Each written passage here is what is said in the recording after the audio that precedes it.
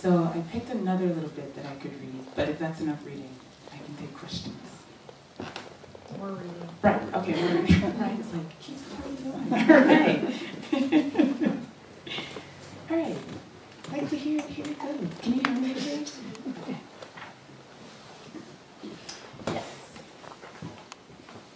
One of the things that I didn't know about book tours, having never had one, is that every time you get to a new city, you meet really the most wonderful breed of person who has the most wonderful job, and that's the media escort. Mm-hmm. So the media escort is he or she who meets you at the airport and brings you to your hotel and takes you to the bookstores to do stock signings and brings you to your reading.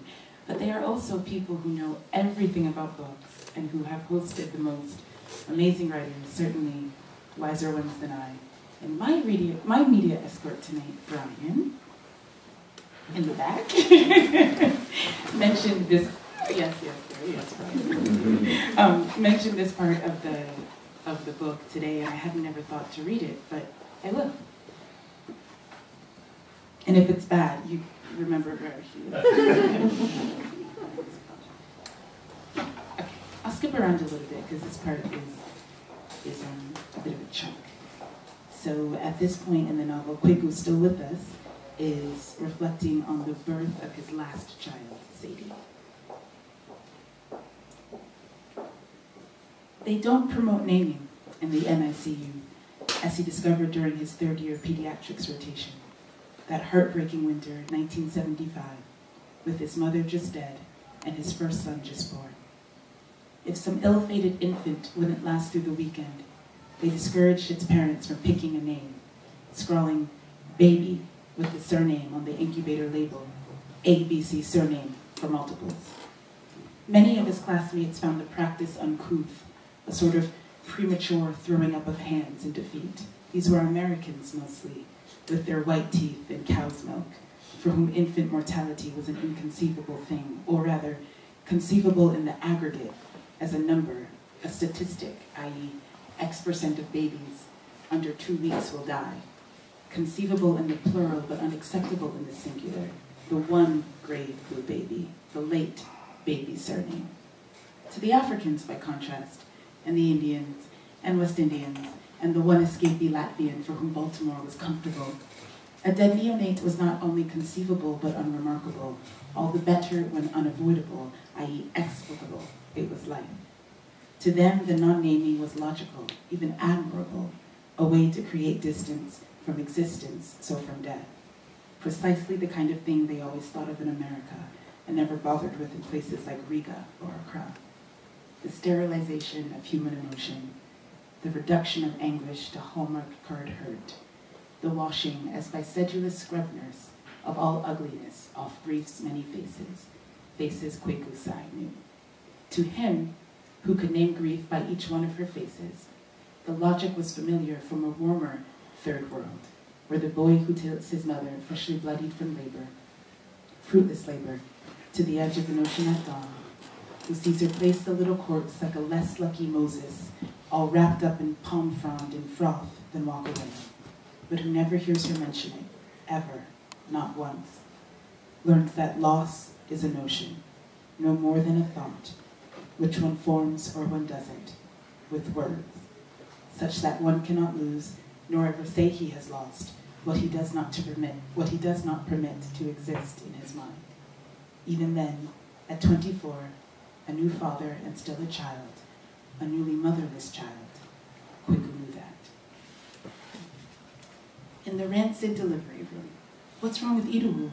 Where are they taking her? She clutched his bare arm. He was still in his scrubs, nothing else, arms uncovered.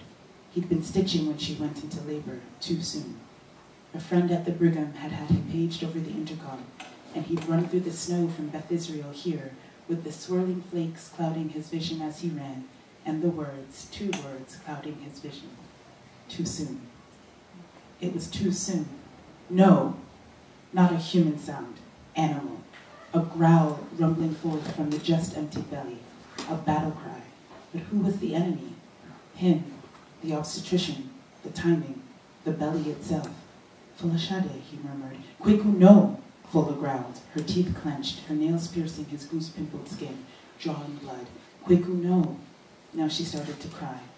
Please, he whispered, stricken, don't cry. She shook her head, crying, still piercing his arm, and other pierceable parts of him neither perceived. Kweku, no! As if changing his name in her mind now from Kweku, just Kweku, to Kweku, no. He laid his lips gently on the crown of her head, her crowning glory, full as hair, reduced by half by fresh sweat.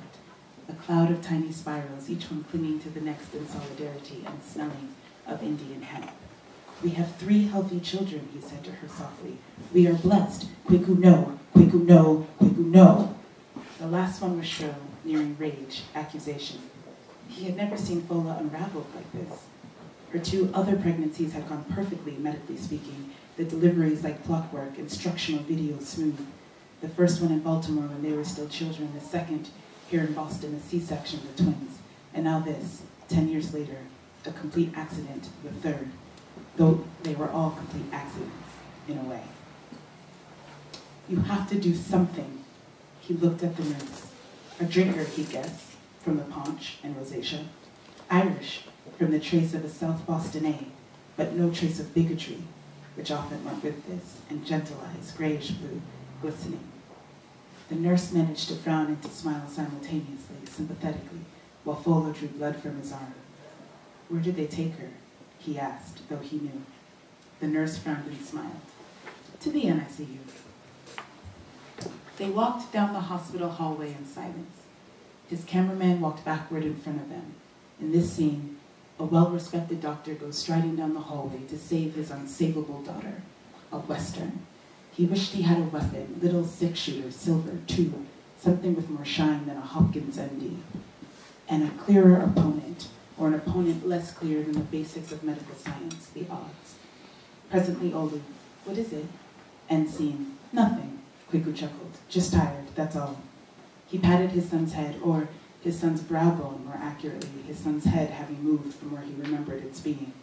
He looked at Olu closely now, surprised by the height, and by other things he'd seen but never noticed before. The wide latissimus dorsi, the angular jawline, the Yoruba nose, Fola's nose, broad and straight, the taut skin the same shade as his own and so smooth, baby's bum, even now in adolescence. He wasn't pretty like Kehinde, who looked like a girl, an impossible, impossibly beautiful girl, but had become in the course of one weekend, it seemed, a really very handsome young man. He squeezed Olu's shoulder, reassuring him, I'm fine. Olu frowned, tensing. The baby, I meant. What is it? The gender. Oh, right. Kweku smiled. It was a girl, then. It's a girl, but too late. Olu heard the past tense and glared at him warily. What's wrong with the baby? he asked, his voice tight. The curse of her gender, impatience. Kweku winked. She couldn't wait. Can they save it? Not likely. Can you? Kweku laughed aloud, a sudden sound in the quiet. He patted Olu's head, this time finding his hair. His elder son's appraisal of his abilities as a doctor never ceased to amaze or delight him, or appease him. His other son couldn't have cared less what he did, irrespective of the fact that they lived off his doing it. He didn't take this personally. At least he didn't think he did. At least he didn't show it when his cameraman was around. He was an intelligent parent, too rational to pick favorites, a man's man, above petty insecurities, and a well-respected doctor, one of the best in his field, god damn it, whether Kehinde cared or didn't. No, he answered Olu, his laugh lingering as a smile. Olu's eyes lingering on the side of his face, then falling away. They walked farther down the hallway in silence. Suddenly, Olu looked up. Yes, you can. I'm just going to skip ahead Kweku peered in. There it was, on the left.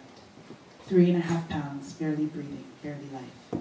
With all kinds of patches and tubes sticking out of it, it looked like E.T. going home. Olu pressed his hands to the plexiglass window. Which one is it? he asked, cupping his hands around his eyes. Kweku laughed softly. Olu didn't say she, only it, one, the baby, little surgeon in the making. He pointed to the incubator, the handwritten tag. That one, he said. Baby sighed. It was the simplest thing, really, just the littlest slip, Sai, speaking aloud as he tapped on the glass. But he'd been teetering already on an edge when it happened. When pointing to the incubator, he spoke his own name. And the two put together like combustible compounds, The sound of his name breathed aloud in the space, and the sight of the neonate fighting for breath suddenly somehow made baby Sai his. It was his, she was his, and she was perfect, and she was tiny, and she was dying, and he felt it, felt this dying in the center of his chest. The force gathered, raw panic, overwhelming his lungs, filling his chest with a tingling, thick, biting, and sharp. He heard himself whisper, there she is, or something like it, but with the constriction of his larynx didn't recognize his voice. Neither did Olu, who looked up alarmed. Dad, he whispered, stricken, don't cry. But Kweku couldn't help it. He was barely even aware of it. The tears came so quickly, fell so quietly. She was his. That precious thing there with her toenails like dewdrops, her ten tiny fingers all curled up in hope, little fists of determination and her petal-thin skin, like a flower that Fola could name by its face, Fola's favorite already, and she, waiting hopeful, still propped up in bed, sweating bloodied, his too. You have to do something. He had to do something. He wiped his face quickly with the back of his arm. The salt stung the wound there. He squeezed Olu's shoulder, reassuring himself. Come on